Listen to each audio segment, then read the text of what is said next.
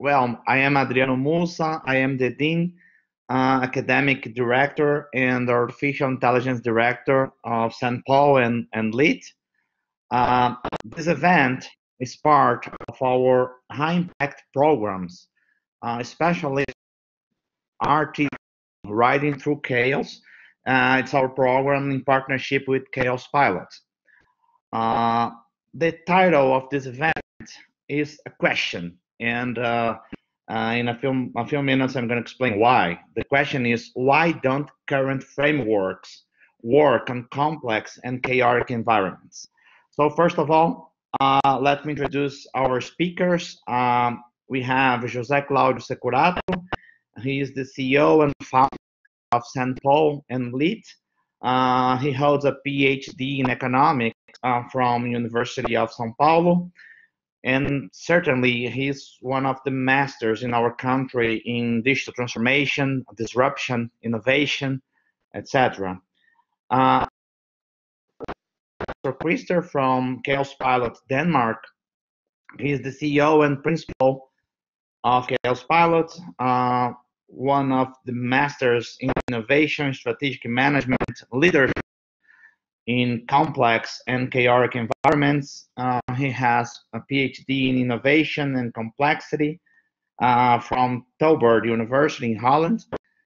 So, uh, thank you uh, everyone for being here, uh, attending this webinar. Uh, I hope that you can enjoy it. I'm going to start with asking to José Claudio to talk a little bit about um, our programs and especially about uh, RTC. And then we are gonna we are gonna start with uh, a debating, uh, talking uh, with Christian and José Claudio. Hmm.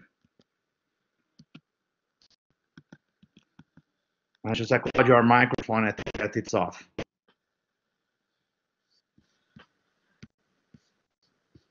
Can you hear me? N now we can. Okay. So thank you very much for your introduction and thank you all to be here virtually uh, in this webinar. I'm, I'm very pleased to receive here uh, Professor Christer.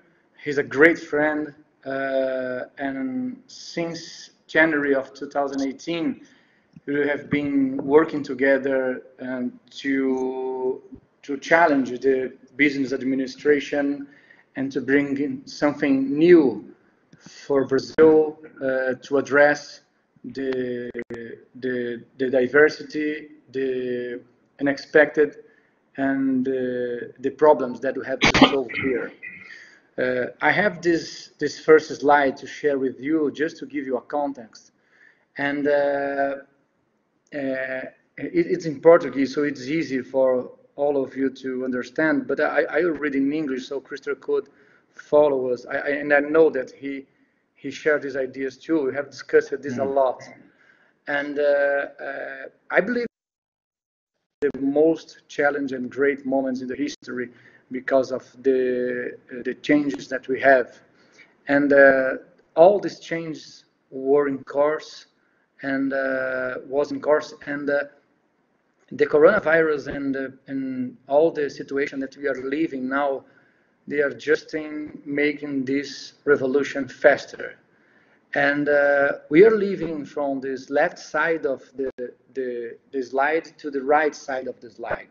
So uh, I call it here in blue the, the word of yesterday and the word of today, uh, just to give you a simple name for this change but I could give you different explanations how we are changing the world and how we changing our lives and how we will change the way we work.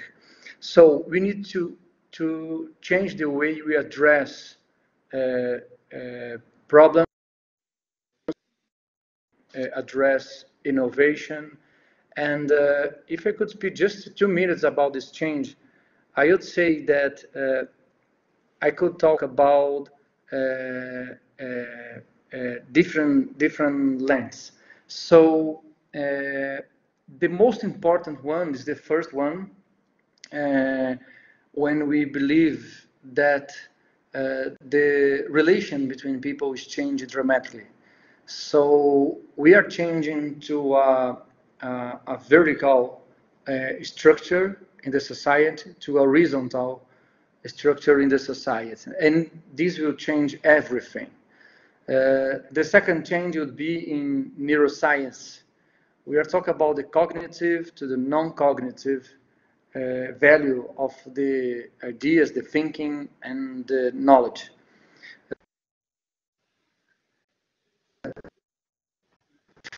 Philosophy uh, way of thinking. And here we are talking about ethics and aesthetics, and in not in the in, with a, a, very special meaning of these words. So I'm not talking about ethics as we usually know. I'm talking about a, a, a philosophy definition of these terms. So it's a very different meaning too. Uh, I think the most simple is to address the technology. We all know we are being packed by that with linear uh, technologies to exponential technologies.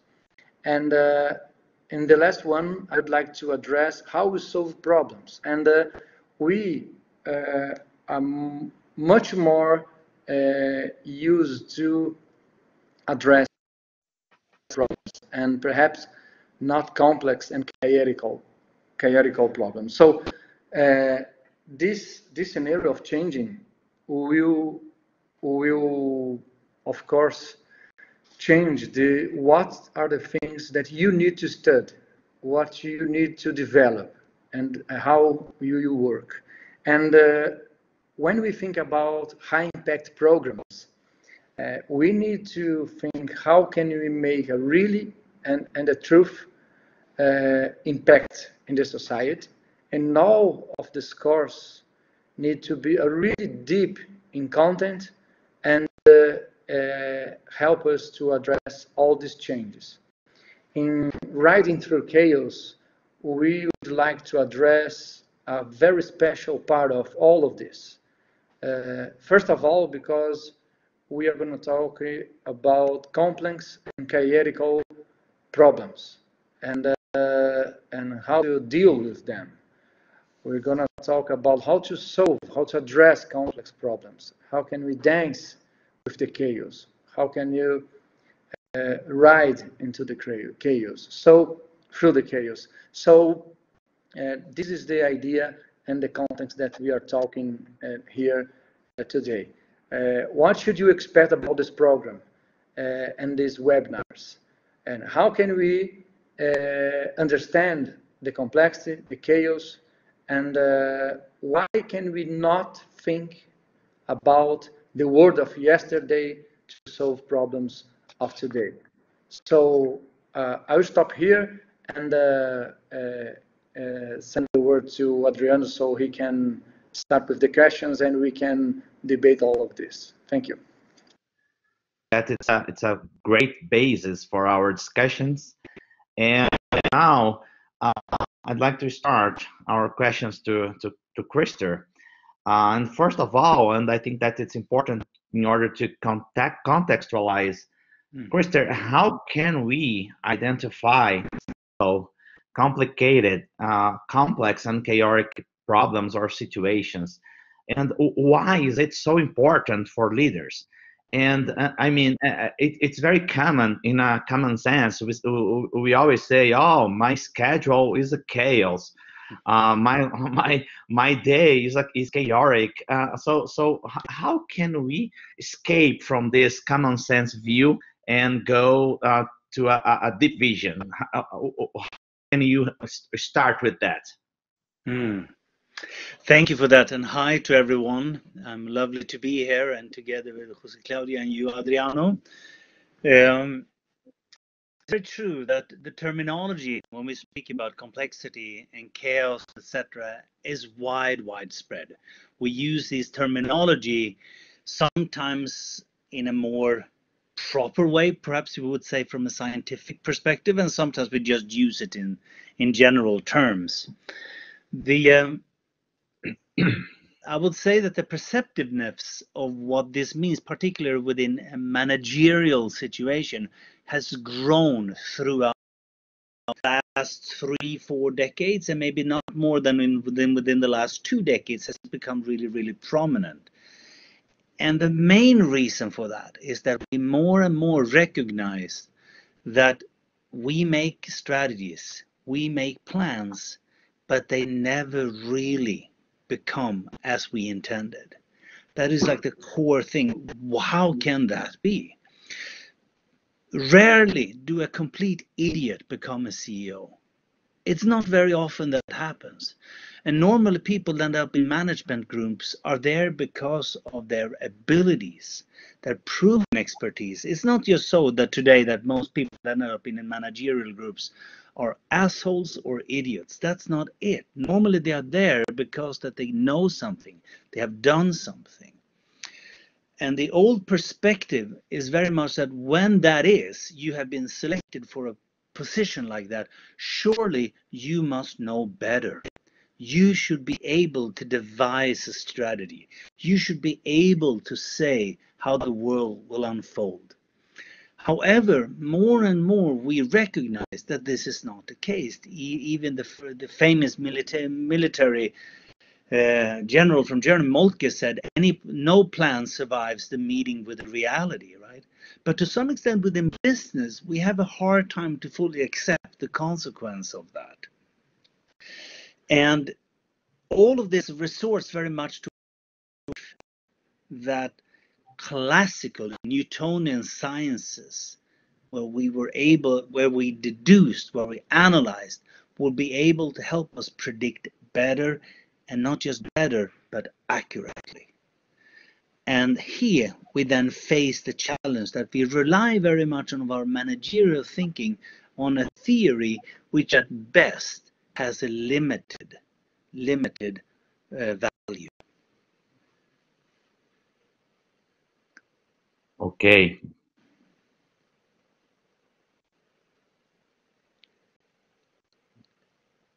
Jose Claudio, we are not hearing hearing you. And uh, can you hear now? I think I'm with a yeah. short delay. Okay. Uh, Christer, and how CEOs and uh, leaders uh, worldwide uh, have, have have this perception? Uh, uh, do they know that the plan and the reality doesn't fit so well, and why they don't stop to use some the, the same methodology? Hmm. See, this is an interesting and quite difficult question because I think that many good CEOs actually know. But in, but there are many other consequences because if you look at imagine you as a CEO, you are meeting your board and they say, so tell us what the world will look like in three years so we can make proper decisions on the development of this company and you as a CEO says, I have no clue, then the natural response is very often, well, we hired you for having a clue. So that is one perspective of this that it's hard to lose face in a way. It's hard to be the not knowing person in the room when your job is that to be that person. So to hold that uncertainty has, I think, for many people in leadership position been viewed as a weakness. It is not a strength to position your uncertainty. The idea of the CEO is the strong man, right, that stands at the end of the table and points with the whole hand and says, that's the direction. That's the way we should do it. And that often makes us jump ahead over a number of important questions.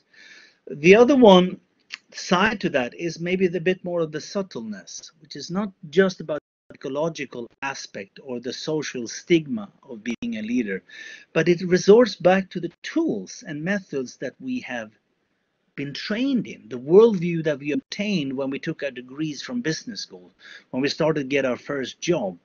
Our toolbox is filled with a number of tools that essentially is a result of this positivist tradition. I'm not saying that none of them that they don't work. That's not what I'm saying. But I'm saying we use the tools that we have been trained to use. So as you said, when suddenly the the land or the landscape isn't really exactly fitting with the the the map that we have, it's difficult for us to reinvent the map. We don't have the tools to reinvent that map. So there are like two yeah. sides to that one. Yeah. And Christer, uh, when you say about two toolbox, no, uh, when we when we analyze um, MBA programs around the world, no, uh, we can summarize them in frameworks. No, it's mm. uh, yes. Canvas framework and uh, X framework, yeah. uh, and uh, they, they, they work very well in in in un, until complicated situations. Mm. Uh, why do we say that that these must-used frameworks are are, are toolbox? You know, uh, they, they don't work in complexity. No. So I think that one of the things which, in honor of more classical MBA programs and much of those tools that have been developed over the last 50, 60 years, they can do, they do have value. It depends very much on the situation. And even, but I think the most important thing we can train our future leaders in is the idea that a tool is just a tool. It is not the answer to every single situation. It's like for the carpenter, the hammer is a fantastic tool, but you cannot use it for everything. And the difference between my young son and a professional carpenter is how they use the tools. And what we will see, I think, in, in that respect, is very often that people become better in knowing at what time in what situation would a tool be applicable? When is it valuable? And understanding the limitations to whatever we do. So part of the whole development, I think, for leaders in our complex society is the realization that what I'd learned is not necessarily wrong, but I need to understand its limits. Great. you disappeared a bit from me when you when you asked the question. Did I answer the your question correctly? Yeah. Yes. Yeah. Yes. Okay. Thank you. Uh, Adriano, can I make a question? Yeah, of course. And uh, and and and Chris, uh, considering that we, we have the tools and they are important, uh, yes. and I, I, I like that when, when you say that uh, we don't have the tools to reinvent the map. So we've don't we need to reinvent the map. So our way, our our uh, next step, uh, we need to think about creativity mm. and uh, uh, to give a next and so to get a next step. So how creativity is important in this area? Yeah. I, I um, at one during the financial crisis, I heard a, a person that had said um, something about it was a response to to to more creative schools, and and he said it's it's the creativity that has brought us into this mess, and I think what he pointed to is that people that work predominantly within the financial industry, when they become too creative, we do have a problem and and um, and I, my response was uh, as, as a note to that one was yes, but it will also be creativity that will get us out of this problem. That we will. That's part of the human nature. And creativity for me is something that it, that goes. It strikes at the very core of being a human being. It is part. It's not just that necessity provokes creativity it does, and maybe we will become more active in it. But creativity is something that happens from the day we're born until virtually the day we die. We don't necessarily think about it all the time. So, creativity in this way, I think, will be the main reason or the main resource we have to draw upon when we need to look at the world differently. We need to invite ourselves and other people into not just assuming things and perhaps attack it from uh, from a from a perspective that no one of us thought about before. So creativity is that power that we have been bestowed with that can really allow us to move away from the, the, the map that doesn't work anymore. In addition, of course, creativity is not the only thing.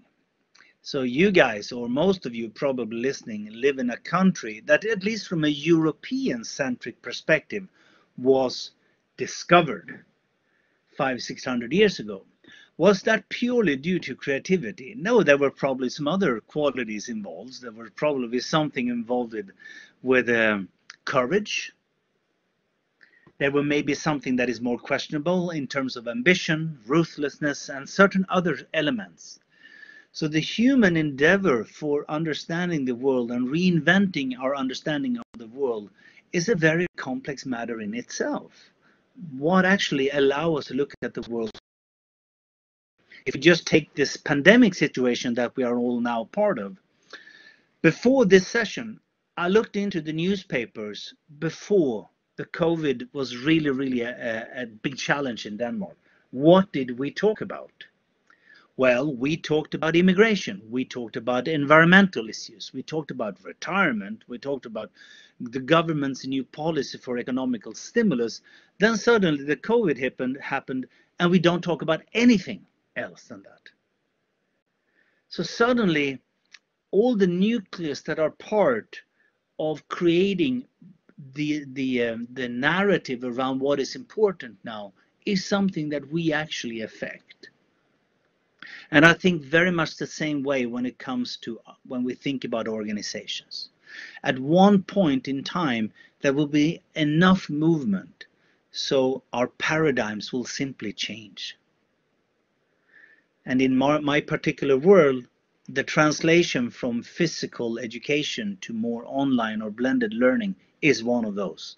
Suddenly for us, in our small, small aquarium around Kaospilot, the paradigm is changing quite rapidly actually due to this outside changes that forces us in this direction.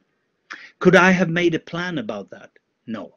I could not have foreseen the corona obviously we talked about pandemics before but it was always something that was out there it wasn't really going to change something here great Christer um, something that uh, is very important is we were not trained to be uh, creative. No, we were trained to, to, to use frames, to use tools.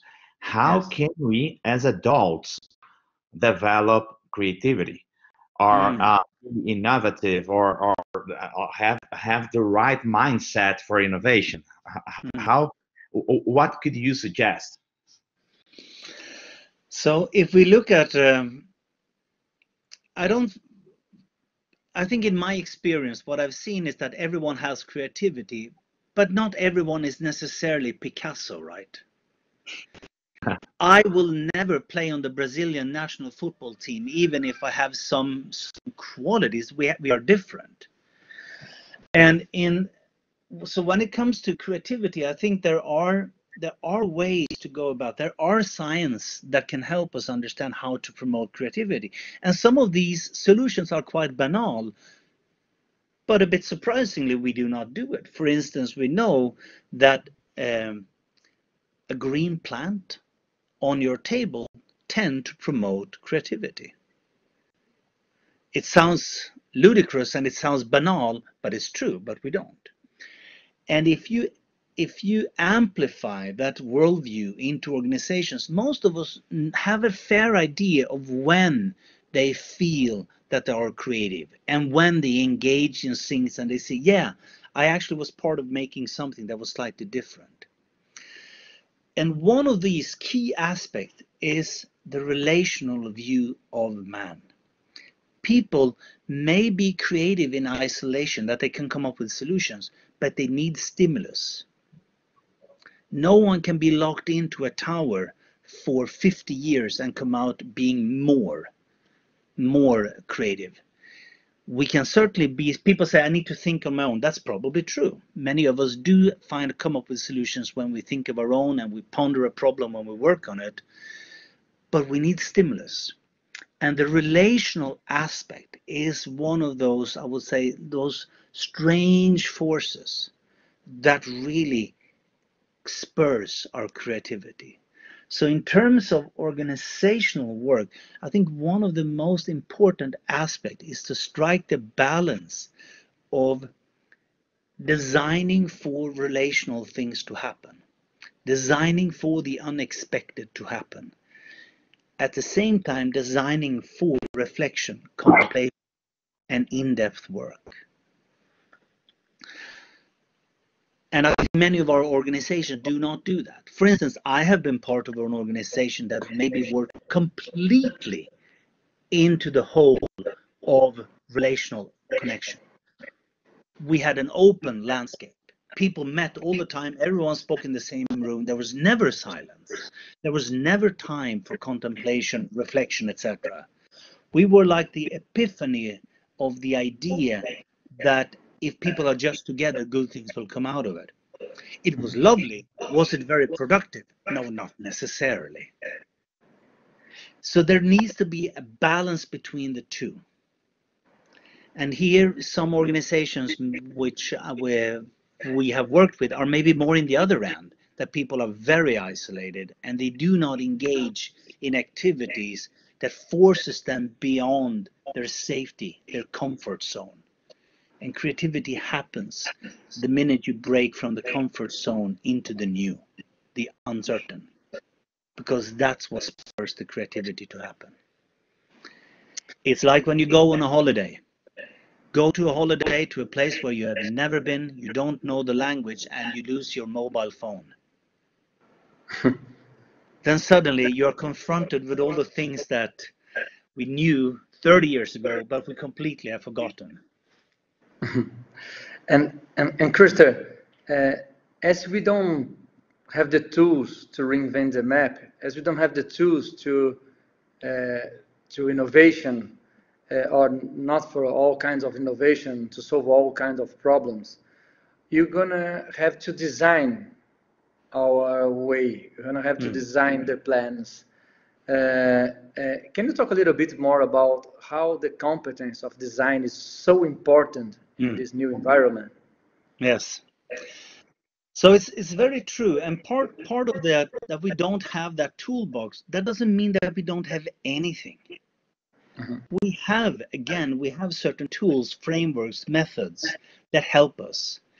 So the more important aspect on that journey is the mindset, the orientation to how do I engage with what I have, and how do I effectively apply, try, test, and see what actually works.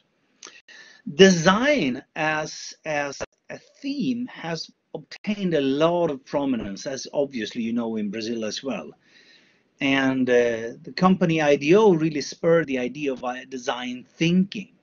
And the merge between design towards business is a relatively new phenomenon, maybe 20 years when it really started to happen. And we see today a number of design agencies and creative agencies being being bought effectively by large classical consultancies, management houses, because they want to tap into that world. So what is it that design holds?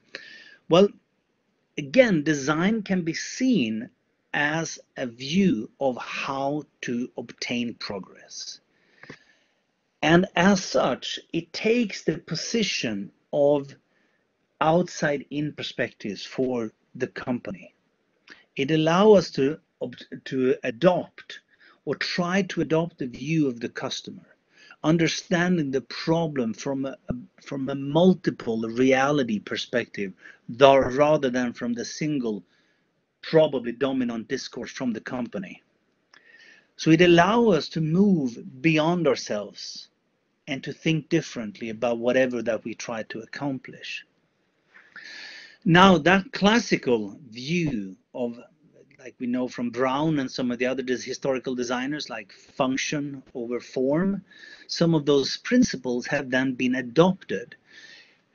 To some, I would I would argue to some to some effectiveness, and some people that are, are very good in adopting the these type of things. Some are less because they again think of it as the tool this is the only tool. It will solve all my problems. I'm great at design thinking processes. Everything will work. Again, it comes down to the quality of the person using the tool, as well as the appropriate situation for that actual tool. And design thinking as such, more than anything in my view, allow us to think broader and wider around, for instance, innovation that we normally do. And it's a great support when we go about strategic thinking, strategic planning in a different way than we did maybe 20, 25 years ago.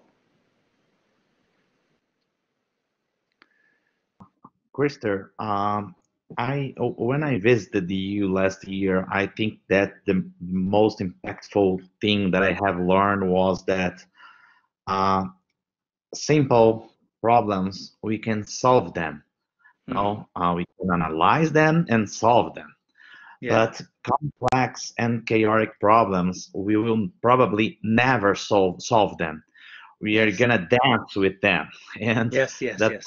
very important. But but I I this thought was on my mind uh, for is in, on my mind for months, and um, it's a little bit frustrating, isn't it? Because if I receive my money, I am the CEO or I am the C level, and I receive my salary to solve problems. Mm, Everyone expect that I can I can solve all kinds of problems but i- i- i- if I'm- will not solve uh, uh, how to deal with that, it, it's really, really hard. Yeah, yes, it's, it's very true. And uh, I think there are a few interesting perspectives on this. And and one, as you as you said, can every problem be solved? I think part in a testimony to the human ingenuity, I think we can solve actually a lot of problems, particularly if we are given time and resources to do so. However, very often solving a problem reveals an ocean of new problems or sophistications to that problem. The problems that when we think about complicated or complex problems, they are not, as you said, they don't really go away. We work with them, we dance with them, we temporarily solve them. And and you can see this actually from an organizational perspective too, that many of the things we engage in, they simply is not a problem to be solved once. It's an ongoing process. So take for instance the um, let me give you a very simple example from my own reality. Every year, a number uh, of students are supposed to enroll at our school. And we can view that as business as usual, which is true. On several, that is absolutely true. But on one level, we can also view this as singular projects defined in time that happens every year. And if you analyze this, maybe what has happened throughout the last 15, 20 years, the problem to be solved holds different characteristics. How to find the students, how to make them interested or understand what it is we have to offer, how that changes our product, our marketing in all of that. So we solve things more temporarily than definitively these days in our in organizational matters. Hasn't that always been the case? Well, probably, but to a large extent we never thought about it like that. Now with complexity theory, we understand that by coming up with one solution, it is not the eternal solution, it's a temporary solution. Another thing is that when we look at problems, in order to solve them, if we avoid a strategy that is basically luck based, I was fortunate. I was able to solve it. I have no idea how I did it. It was sheer luck. Most of that re- re- re- requires some level of understanding and some level of sophistication in our work with them. Very often today, when we look at problems, we cannot fully understand them, we cannot fully define them.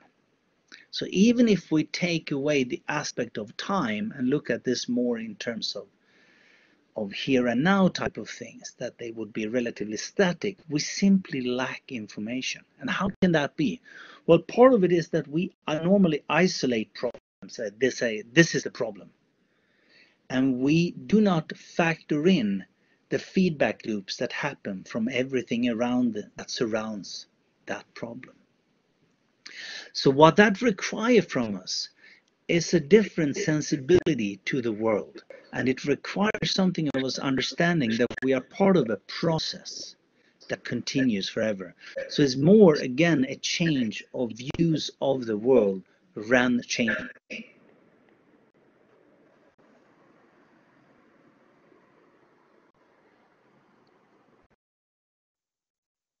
Yeah.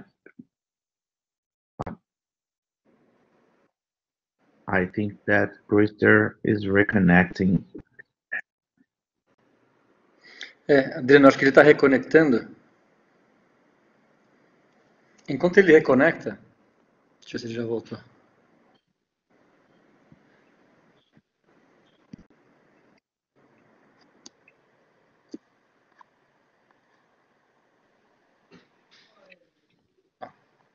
Am I back? Yes. Yeah.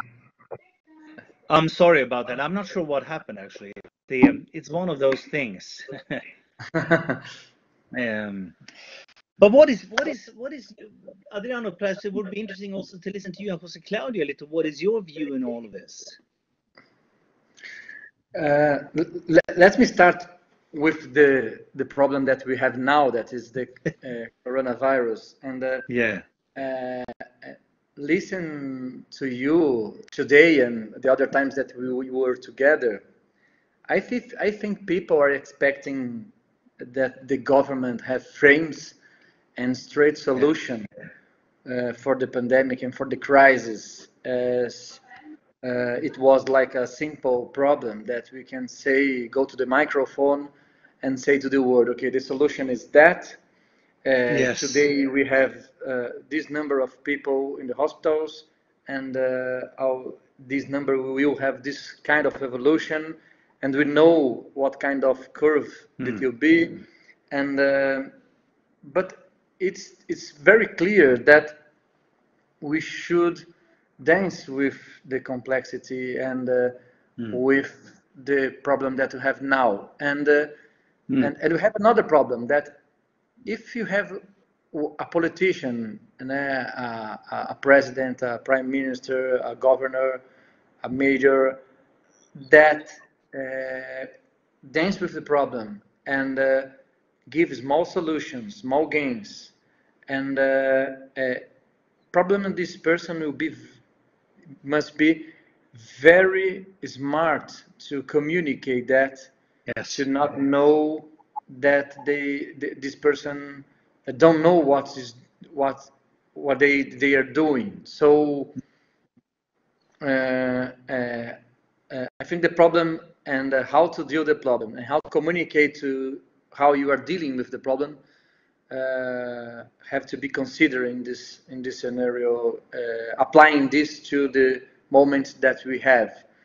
And Yeah. uh, when I see the perspective inside the organizations, uh, I I'm really convinced that people are afraid about innovation, and uh, it's much more simple to uh, uh, uh, have a target like a quarter, and uh, if I have to run 100 miles, I, I have to, I will do that. If I have to jump three meters, I will jump that. So uh, it's easier because we learn how to deal with this kind of challenge. It's not easy to do that. It's not easy to to be on budget to to uh, sell more than the the, the budget was Yeah. uh, have defined. It's it, it's not easy, definitely, but uh, I'm sure that this kind of executive will not do uh, anything different, uh, anything you know, in, uh, with innovation, and uh, and I think people have to should be uh, even and and and, and uh, let me just give a, a step back. The problem uh, in the government to communicate how to solve the crisis. né? If it solve, but it's not problem. Is not we are not. Uh, it's not we are not able to solve a problem, but uh, how can I deal with the problem, with the crisis, mm. with the coronavirus, and uh, this difficult that the politicians have? Yes. I think the CEO and the, all the senior executives have the same problem. Yes. Because uh, the, the people around them expect, as the population expects, as the citizen um, expect that you have a great solution for everything. Mm. So uh, we are dealing with something that we have to be more um, open to understand that people people don't don't have the answer for the things and we have to build together uh, and uh, I like when you I like very much when you say that design it's how we can obtain progress. And uh, progress is more important than solution. Mm. Yes, I agree. I'm not sure sure how much in Brazil that you follow the Corona situation here in Northern Europe, but there are some interesting aspects to what you are saying, and um, so the the five countries we have like Iceland, Finland, Norway, Sweden, Denmark there is only one country that has a strikingly different strategy in working with corona than the others, and that is Sweden, which has remained relatively open. It is also the only country that has a male prime minister. and the number of deaths is extraordinarily high in relative to the number of people. If you would compare, for instance, to Denmark, is more than four or five times higher than it should be. Yeah, four times. And uh, but if you look at Sweden, that it's a very expert-driven type of society. That's normally how Sweden portrays it. The expert says that there are no proven strategies that make that we can believe in. So we believe that what science tells, us, and science says that uh, some sort of immunity will eventually come, and we just have to wait it out while we wait for the vaccines and we try to do the precautions that we can.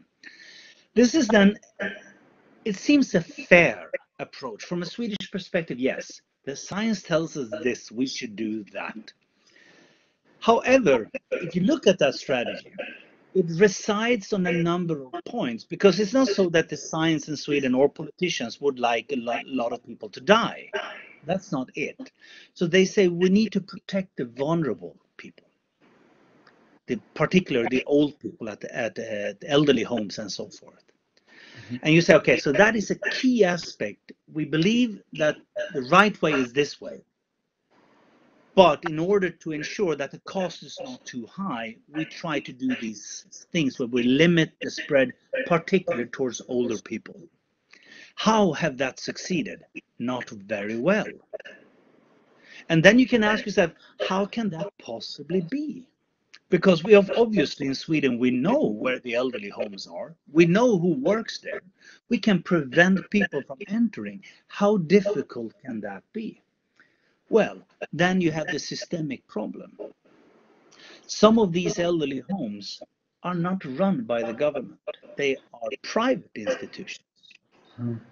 And the costs extra incurred if you actually lock them down or you introduce new ways of preventing. Maybe you need to educate staff differently. Mm-hmm. It is not so easy to enforce this in a in a in a in a democracy and where you have a number of players. So you devise a strategy that actually looks really well and people buy into it. Then in the implementation phase, there are a number of obstacles that you did not factor in. You could not know that, for instance, or no one really thought about that, that healthcare personnel in Sweden are maybe not exactly the same people as in Denmark. There are different qualification levels. They are located in different uh, in different areas. So suddenly you have a situation where this happen, and then when the strategy do not play out in full, in perfect, it's suddenly you see another dilemma which we do have in organizations, and that is the political aspect of being a leader. Because, as you so rightly point out, that we cannot necessarily say that we don't have any answers.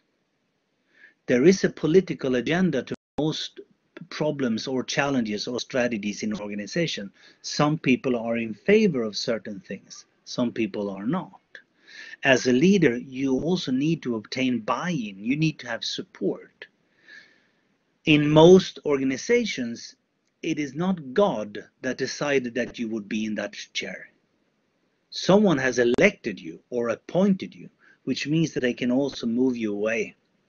So that coalition building, that that obtaining the support as a leader is actually quite important.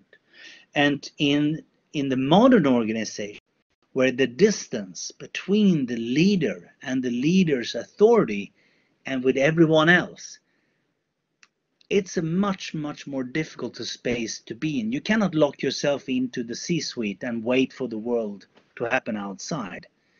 Very quickly can the the winds can really change around you and your job. So the political side to being a leader is an increasingly important aspect so how then can you just say well something new is happening i'm not sure what that is i think all of that points back to something that you said uh, in this corona thing that we can learn from maybe some of those qualities that we see tend to be favored by people in countries, in Scandinavia at least, are qualities that we normally don't associate with leaders that are male.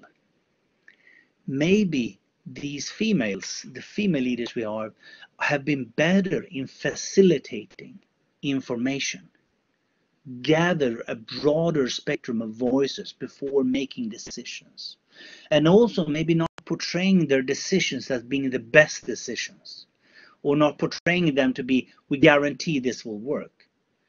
Maybe they have been a bit better in saying we need to do this we cannot guarantee but we can guarantee that if we don't do this we have bigger problems at hand.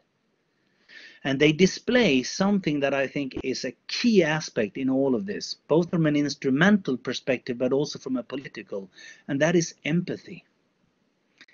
Leaders need to portray a lot of empathy in complex situations because we as people can live with leaders to a large extent that make decisions that are not perfect if we believe that they see us if we believe that they hear what we are saying if they can feel what we are feeling we give these leaders much more authority than what we would else would be. If we believe that they are assholes, that they're tone deaf, to what everything goes around them.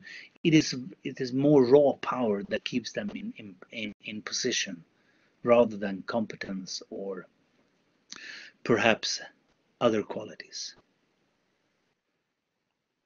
Yeah, uh, great. Uh, I agree with you, and I would like to add one aspect. I think that it's technology, especially because when when we think about artificial intelligence, uh, blockchain, IoT, etc., uh, we have we already have AI, or we are gonna have in the near future AI um, is gonna be much better than we are to solve simple problems. That that's the mm. truth.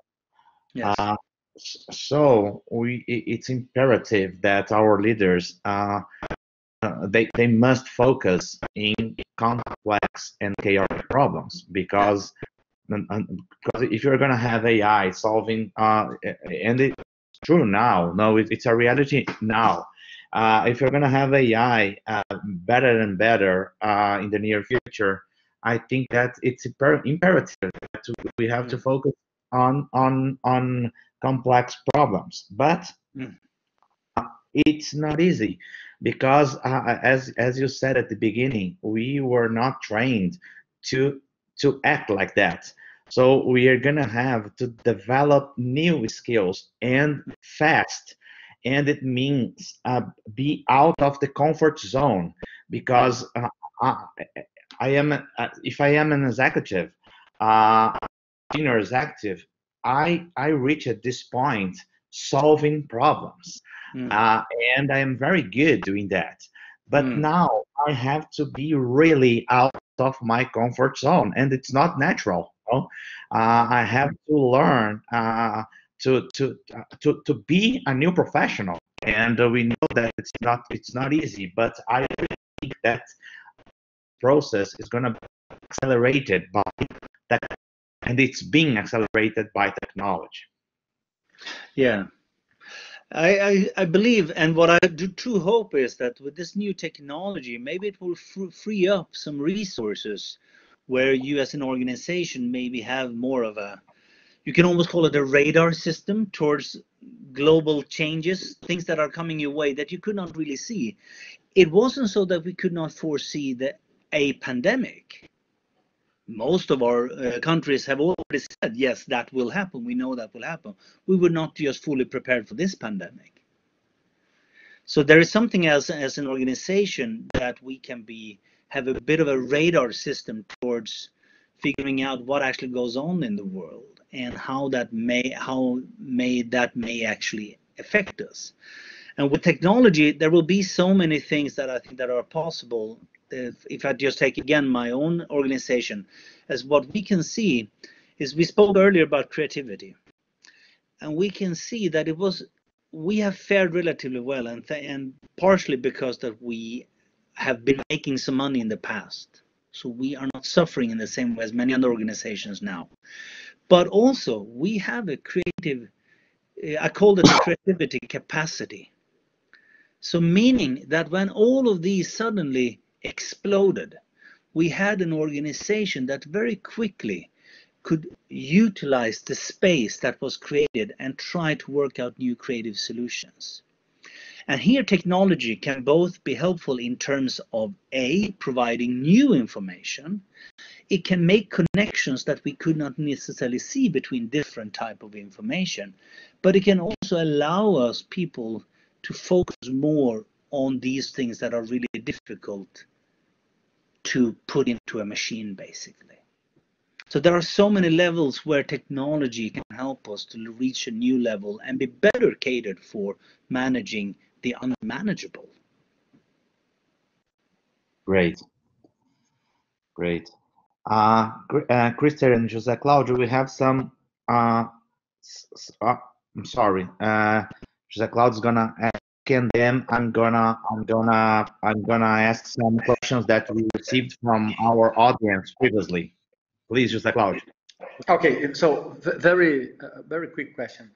Uh, Christian, can you tell us uh, how is a class in Kaospilot and what do you bring to Brazil uh, in mm. our program Riding Through Chaos? So I, I, I, I manage a very different methodology. So can you share a little bit with us, please?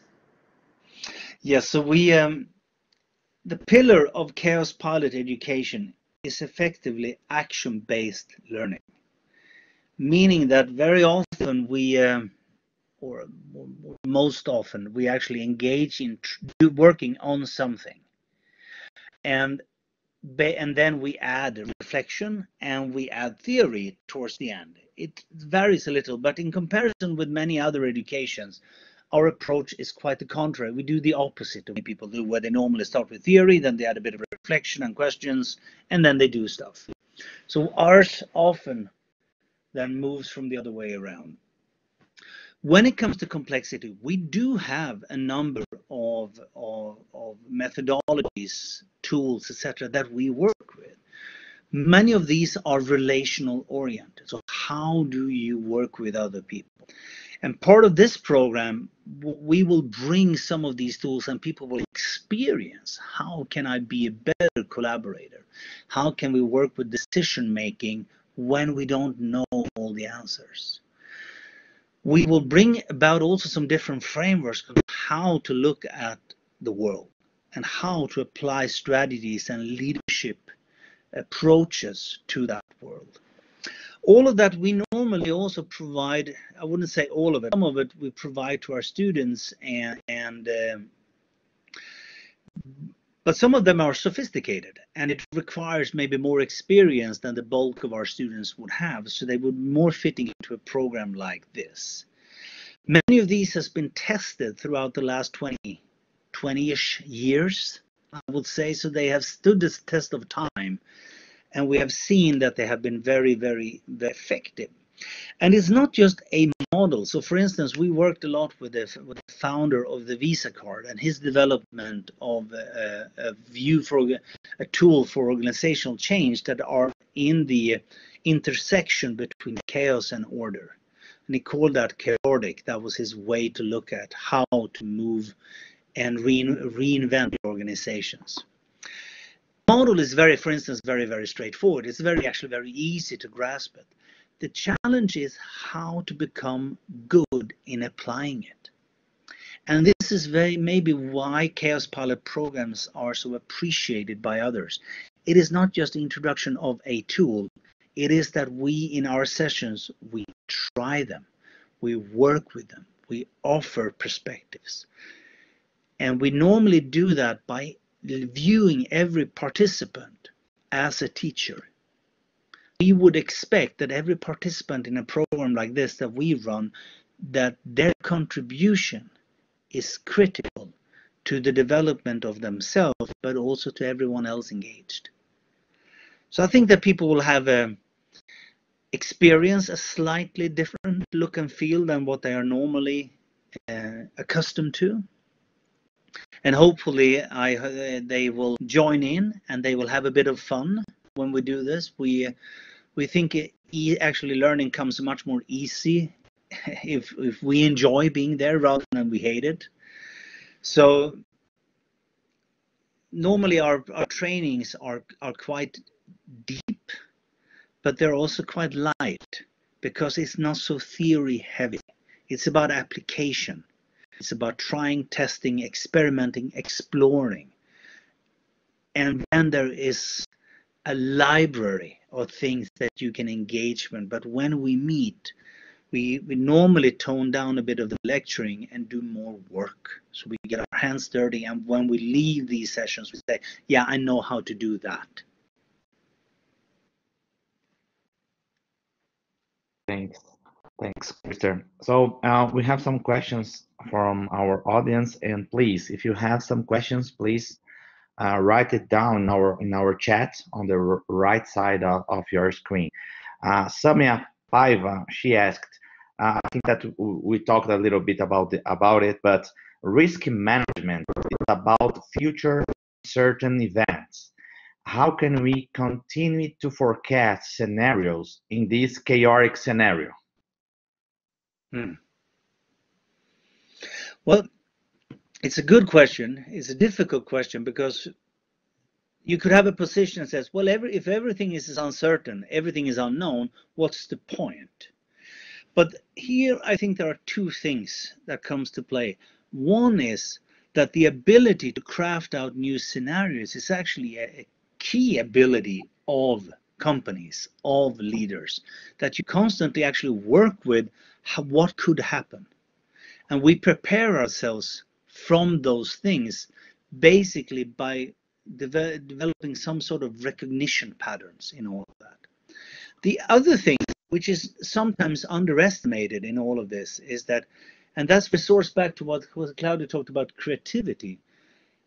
Scenarios is not just something that only happens to us. We are actors. We are players. We could feasibly try to make a scenario happen. And this sometimes when you read about complex theories and we think about organizational matters to say it's better to wait and see what happens and then we quickly adjust. Well, that's one strategy. But one one another way to look at it is that we have developed four or five scenarios.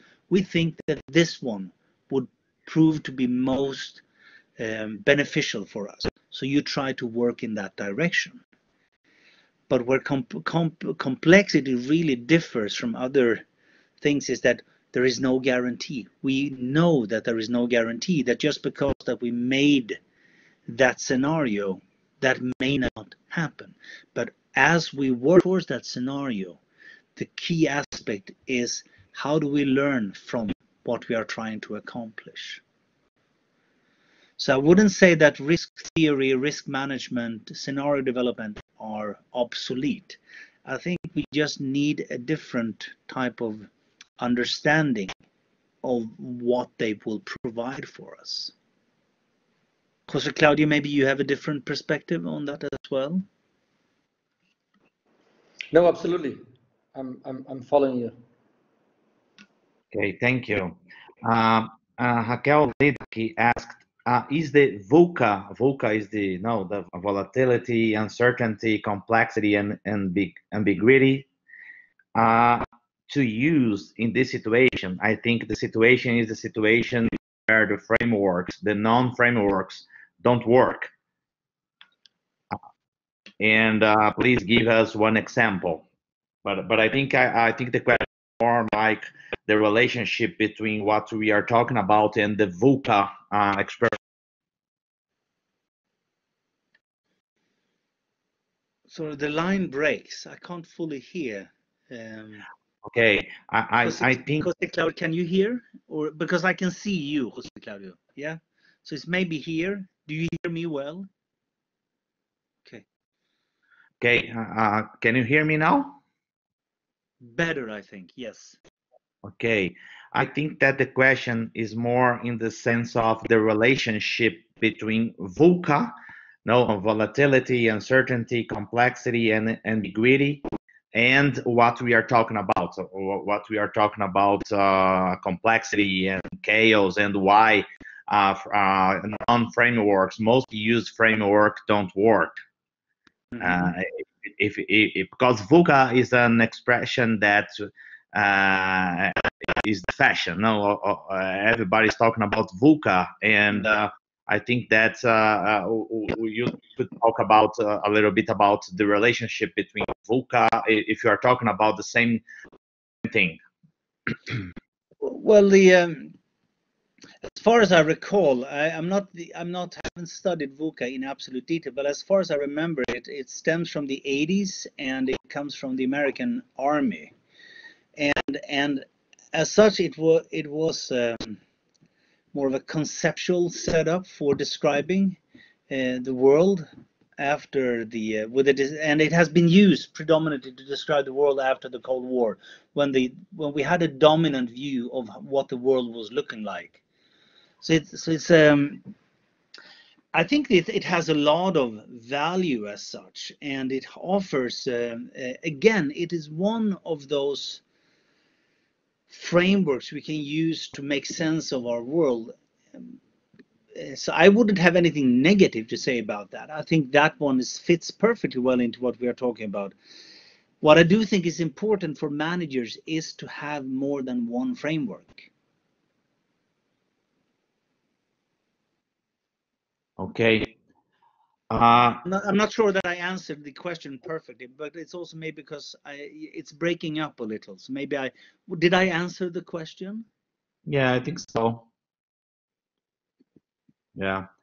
Uh, Vicente Góes asked, what's the difference between change and transformation uh, in relation to solving problems? Hmm.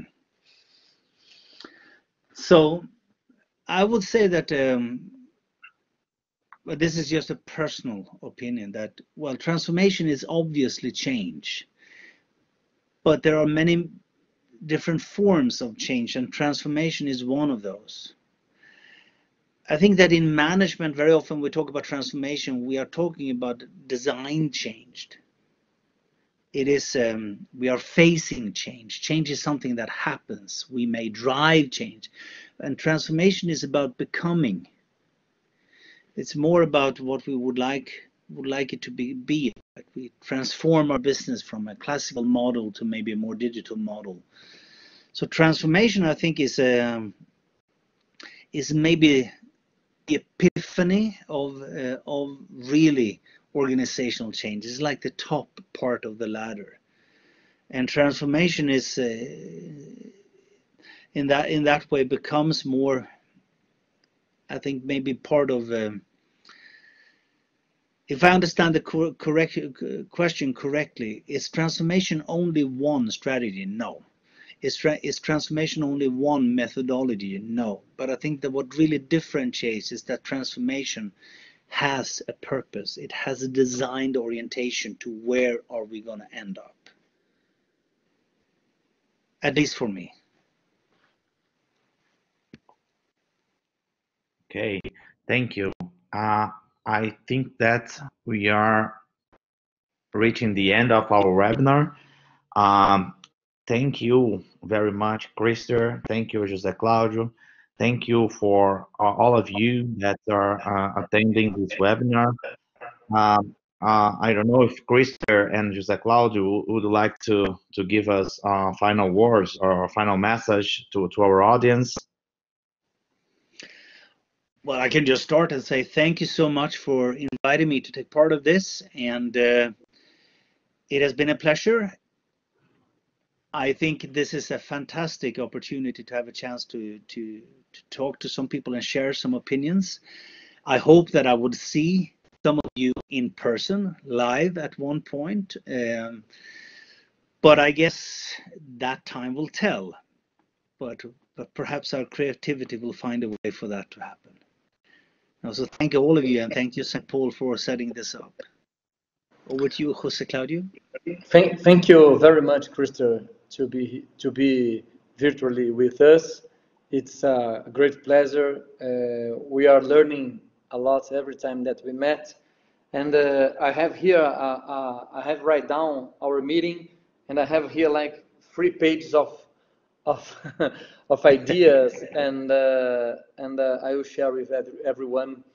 Uh, uh, but I, I, think we we get there, and that's the important to make produce our time. So thank you very much to be here, and thank you everyone to join us in this morning. Thank you. Thank you so much. So thank you everyone. It was a pleasure uh, receiving you here in our virtual room. Uh, and I really hope, as Christer said, that we can uh, meet meet each other um, in person um, very soon. Thank you very much, and uh, bye bye. Bye bye.